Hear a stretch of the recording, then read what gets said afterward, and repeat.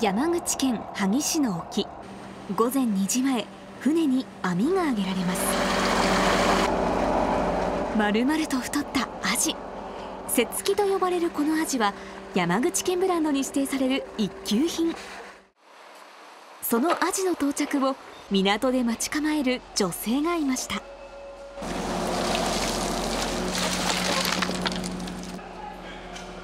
午前4時前陸揚げされるや否や慌ただしく動き回ります。アジめっちゃ大きい。1匹が1キロぐらいあるから。イヤホン付きの携帯で魚を売り込むのは坪内千佳さん。彼女は漁師60人を束ねる船団の代表。つまり親分。目指すのは取れたて鮮魚を首都圏などに直送し漁師たちの売り上げを伸ばすこと取った魚を漁師が自ら売る。これが彼女が始めた新戦略。魚を触ったりすることってこれまでは？ないですないです。この仕事始めてからです。漁業経験はゼロ。島の出身でもない。突然リーダーになった若い女性に漁師たちは厳しかった。若い小娘が魚のことを分かりませんのに何を言うかと結構誰がやるよ。そんなもんなの。まかり通るわけないん。だよそのこっちからこっちでの。しかしそれでも突っ走れ。全ては島の漁師を守るため。そして女手一つで育てる息子に働く母の背中を見せるため。前代未聞親分は女性。取れたて鮮魚を売りまくれ山口県萩市の離島大島は漁船が船団を組んで魚を取る巻き網漁が盛んな島。特産品は山口県ブランドに指定された大きなアジ。しかし燃料費の高騰や魚の取引値が低迷する中島の巻き網船団は赤字続き。経営が苦しくなっていました。そこに襲ったのが魚の劇的な減少。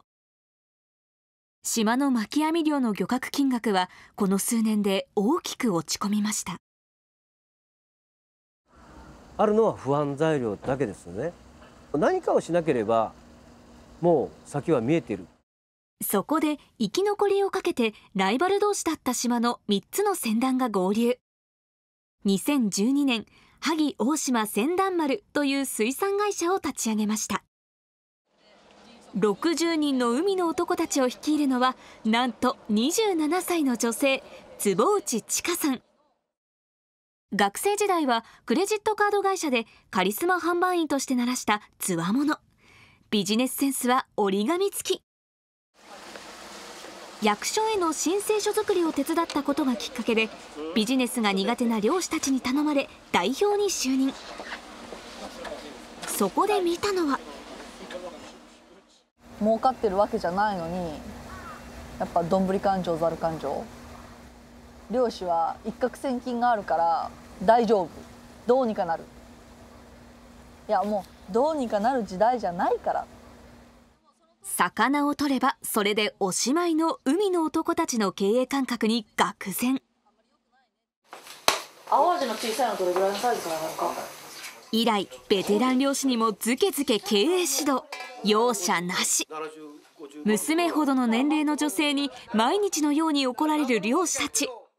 あ今の今の優しいやちょっと待ってちょっと待って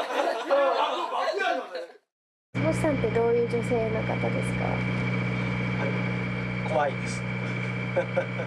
彼女が来てからもう全然意識も変わりましたので。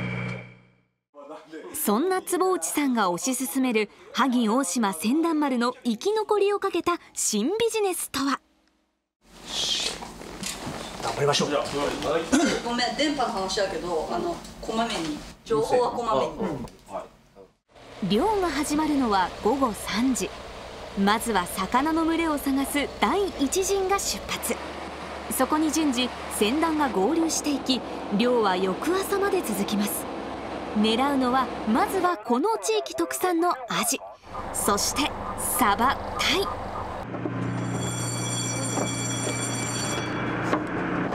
午前2時前漁船に網が上げられました。手早く取れた魚を確認。ほどなくすると漁師たちの代表長岡さんが電話をかけ始めました。800から1キロぐらいあるサバが1匹あるね。大きいアジ、えー、800から900回しでか。アジの800から 900?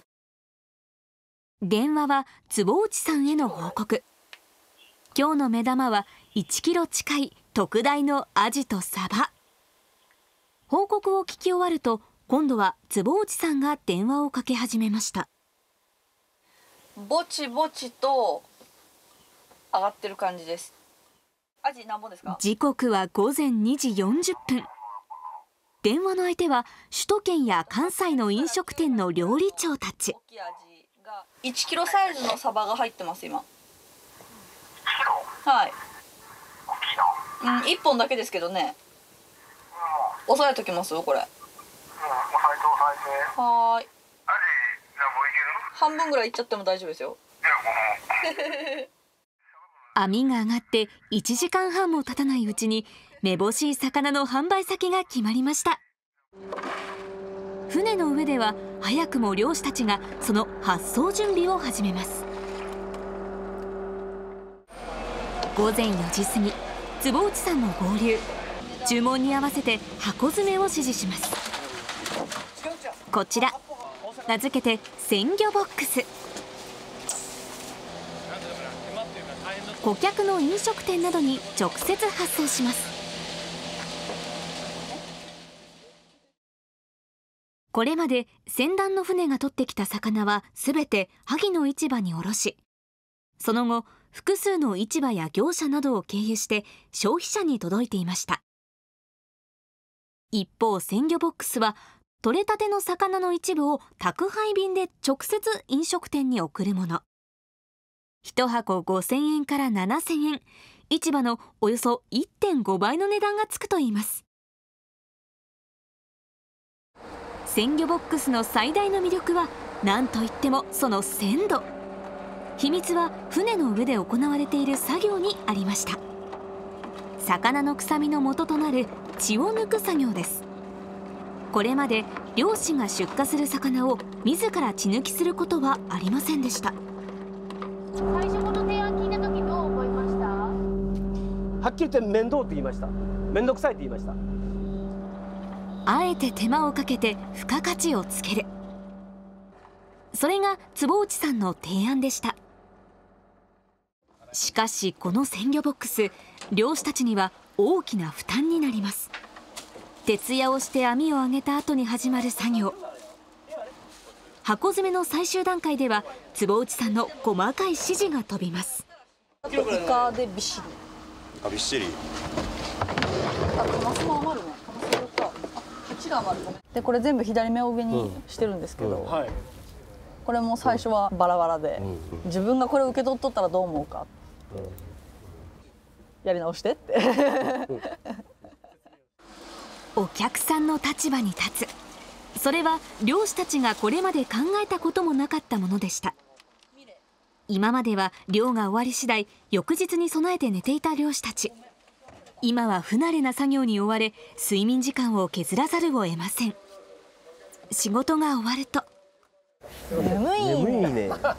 眠いね。作業をする漁師たちは。何が大変全部が全部大変なんよ。ズブの素人今までは本当接客も知らんような人間ばっかりがそれだけのお客さんからそれだけの箱数を求められちゃうわけじゃからそれは1年の素人だろうが1週間の素人だろうがお客さんには関係ない話だから。こうした仕事を始めて1年。漁師たちの意識も変わり始めています。坪内さんは5年前学生結婚した夫について萩にやってきました。長男を出産しましたがその後離婚してシングルマザーに。5歳の長男修斗くん。週に1回ほど修斗くんは夜間保育に預けられてお泊まり。坪内さんは徹夜で仕事を進めます。母親と代表の二足のわらじ。萩大島船団丸という活動はこういうものであって私はこういうものを作ろうとしてるっていう背中が見せれるっていうんですかね、これがあって自分が親にも慣れてるっていうところにとこもあるのかもしれない。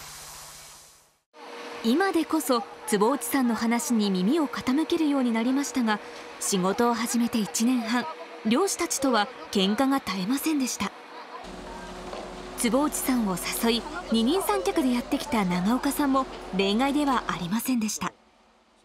それが変わったのは1年前のある口論。ズバリこのままじゃ会社潰れますよっていう話を私したんですよ。この時に。ちょうどこの言葉に長岡さんは激怒。もうもうやめてどっかもう行ってくれとで大島船団丸も関わるなと。自分でもうやるからっていうことでその名簿を見せと。どこにどういう魚を出してるのか見せと。それがまあここれなわけですよね。手書きの顧客リストはびっしりと裏まで続いていました。販売は坪内さんに任せきりだった長岡さん。この時初めて坪内さんが一人で飛び込み営業を続け半年で20店を開拓していたことを知りました。顧客ゼロから驚異的なペースでした。これを見た時にね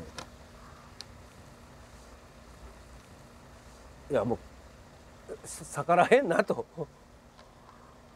もうやるしきないなと、うん、びっくりしました、うん、結果を出す坪内さんに漁師たちは次第に信頼を寄せるようになりました坪内さんも溶け込むためにこんな努力を。たくさんありますけどこれは何ですか？これジャージです。着たことなかったんですよ。ジャージを初めて買って。いつもジャージ姿の漁師たちに合わせて着ることがなかったジャージを着るようになりました。これまでに購入したのは15着ほど。どうですか？これ着た気持ちは 気持ち。特になんかもう別に前は思ってましたけどねなんかいやじゃあ今日ジャージだし。最近なんかジャージで人に会ってもなんかおみたいな。たった一人で飛び込んだ漁師の世界。坪内さんにはこのビジネスを成功させ叶えたい夢がありました。もう一回こうなんていうんですかね花を咲かせたいというかあの島のあったかい雰囲気の中でみんなにこうもう一回本当にこう笑ってもらいたいなっていう。でその中に自分も入れたらあ最終的にそれが一番私にとっても幸せだなと思いますし。生き残りをかけた60人の漁師たちと坪内さんの挑戦は続きます。え最後までご覧いただきありがとうございました。えーエブリィ特集では奮闘する人々の姿や心温まるちょっといいお話をお伝えします、えーよろしければチャンネル登録をお願いいたします。えーこの他のエブリィ特集そしてこちらの動画もぜひご覧ください。